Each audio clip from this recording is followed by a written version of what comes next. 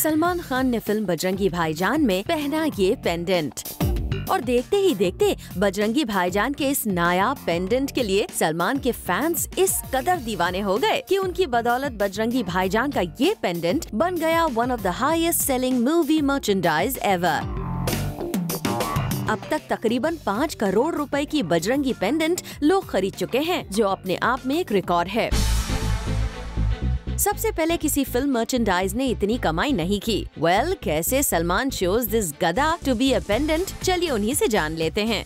We needed um, uh, we needed something to wear in, the neck and um, lots of things came out then ashley came up with this gada Bajrangi भाईजान के pendant के लिए fans की दीवानगी ने एक बार फिर सलमान के स्टारडम को बयां कर दिया है। Bureau report zoom Mumbai.